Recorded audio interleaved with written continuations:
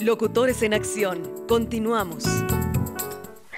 Bueno, pues tengo la dicha de estar aquí en Locutores en Acción, el programa de la Asociación Nacional de Locutores de México, pero muy, muy emocionada porque es 5 de octubre, aunque vamos a pasar de este programa el sábado, pero hoy estoy hablando el 5 de octubre con el ingeniero Rodrigo Ramos Plasencia, un gran, gran maestro, ingeniero, el cual inició la Escuela Secundaria Técnica número 127 hace 50 años, el 5 de octubre.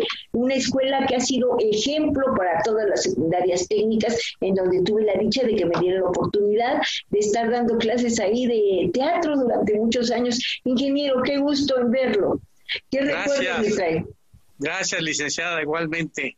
¿Qué eh, recuerdos le traen? A ver, dígame. quiero precisar algunas cosas. Efectivamente, hace 50 años, el 5 de octubre de 1970, arrancamos las actividades académicas y administrativas de ese glorioso plantel. En ese tiempo arrancó con el nombre de Escuela Tecnológica Industrial y Comercial 209. Posteriormente, por razones de descentralización, federalización, se cambió el nombre a 127 y ahora es la secundaria técnica número 35. Es el número que tiene. Posteriormente, estando nosotros en aquella ocasión, hubo oportunidad de ponerle el nombre del insigne, eh, pues expropiador de la, del petróleo, el general Lázaro Cárdenas. Así es como en este momento se tiene. Así es que estamos de fiesta. Nuestra hija, pues ya cumplió 50 años. Ya, ya es mucho adulto mayor. Qué bueno, ingeniero, es un grato recuerdo y bueno, pues han respetado el nombre de la escuela del ingeniero Lázaro Cárdenas, que me acuerdo muy bien el día que se hizo eh, pues la promulgación del nombre que estuvo ahí el hijo del ingeniero con nosotros, el ingeniero Cuauhtémoc Cárdenas. Efectivamente, nos hizo el honor de acompañarlos. En algunas otras ocasiones también doña Amalia Solórzano de Cárdenas, en algunos de los desfiles que organizamos en la Magdalena Michuca con más de 20 mil jóvenes de escuelas secundarias técnicas, precisamente para recordar esa obra del general Cárdenas. Ahí, ahí dejamos la escuela hace ya 43 años. Ay, nada más siete años estuvo usted, pero fue un principio extraordinario en esa escuela. Y ya luego se fue a la dirección general. Eso le valió el que lo llamaran a la dirección general de secundarias técnicas, porque vieron pues lo bien que sabía trabajar el ingeniero Rodrigo Ramos. Muchas gracias, muchas gracias, licenciado. Pues eh, las circunstancias se dieron muy favorablemente en ese sentido si queremos recordar algunas de las cosas que se hicieron en esa escuela, usted lo sabe perfectamente bien porque fue parte activa de todo ello, pues hay muchas cosas de carácter académico que vale la pena mencionar. Y una de ellas es las aulas laboratorio. Muy bonitas. Estas aulas laboratorio que incrementaron en 37% el, el porcentaje de aprobación de todo el alumnado y fue una gran satisfacción, al grado de que el entonces subsecretario César Uscanga Uscanga dio instrucciones al CAPSE para que este modelo se trasladara al CAPSE, encargado de construir todas las escuelas en el país. Y así se hizo. Ese es uno de los grandes logros que tuvo la escuela con ese precioso equipo que conformamos en esa escuela en aquella época grandes amigos, extraordinarios eh, maestros que tenía usted en esa escuela y que sí, me acuerdo muy bien de esas aulas laboratorio grandísimas en donde los jóvenes, pues si ya no podían seguir estudiando, ya tenían un oficio al cual se podían dedicar. efectivamente, efectivamente la educación técnica en ese tiempo eh, pues tomó mucha relevancia.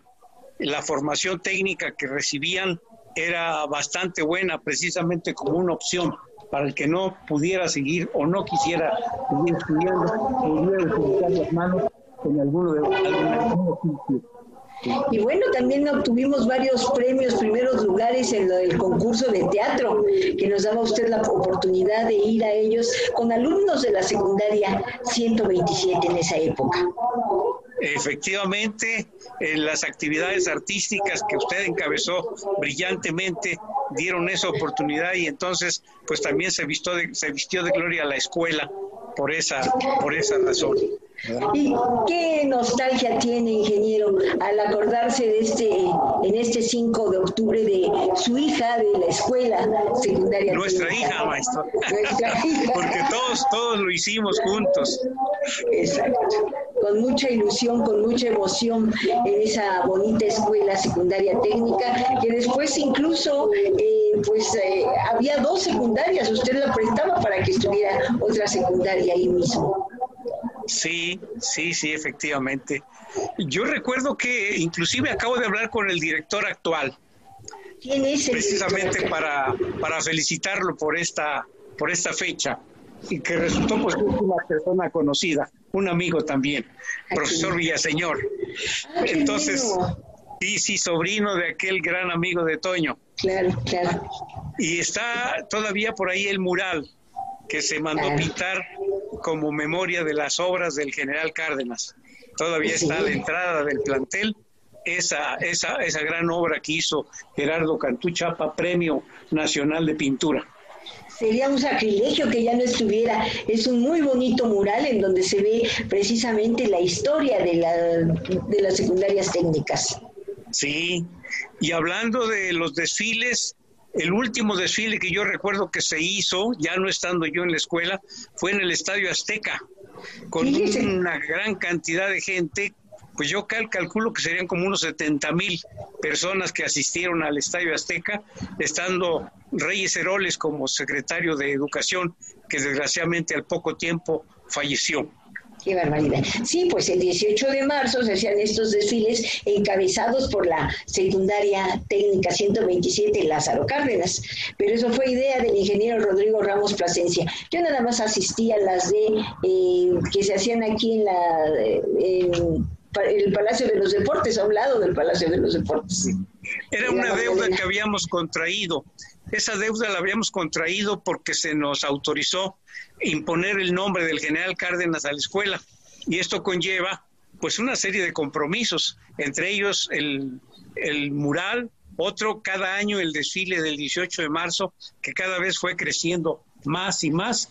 Yo lo dejé en el treceavo o décimo tercero, pero no sé, creo que posteriormente eh, se suspendió porque incomodó un poquito el nombre del general Cárdenas a las autoridades del turno. Qué lástima, porque es un hombre que dejó mucho en nuestro país. Y también usted es una persona que ha dado mucho a las secundarias técnicas y eh, me da mucho gusto verlo, verlo bien y que se acuerda con mucho cariño de su obra de la secundaria técnica 35 ahora, la que fuera 127. ¿Qué más nos podría decir, ingeniero Ramos, aquí para Vibra TV? Bueno, pues eh, una cosa muy importante es que muchos profesionistas de nuestra escuela, pues han eh, emigraron ocupando posiciones muy importantes, como la licenciada Rosalía Guaún Sánchez. Eso es, innegable. El ingeniero Chaboya Estrada, eh, entre otras personalidades. La mayoría de ser directores de secundarias. Sí, la profesora Rosalinda Hernández Vargas, la profesora Concepción Craig Reyes, el ingeniero Rafael Samaniego Esquivel, el licenciado Raúl Hernández del Pino, el licenciado Gabriel Guante Altamirano, el licenciado Sergio Becerril Rodríguez y otros muchos hasta donde yo me quedé. Seguramente. El ingeniero José Luis Domínguez. Efectivamente, José Luis Domínguez, Segovia. Así es. También un gran maestro y seguramente siguió sembrando, siguió sembrando en otros lugares donde está. De seguro que sí. Y pues, ingeniero Rodrigo Ramos Plasencia, muchas gracias por permitirnos platicar con usted, por permitirnos recordar las glorias de la secundaria técnica 127, ahora 35, fundada por el ingeniero Rodrigo Ramos Plasencia. Muchas gracias. Muchísimas gracias a usted, maestra, licenciada. Le agradezco muchísimo esta buena oportunidad que recordemos una fecha tan importante. Estamos de fiesta todos los que hemos estado y están por allá.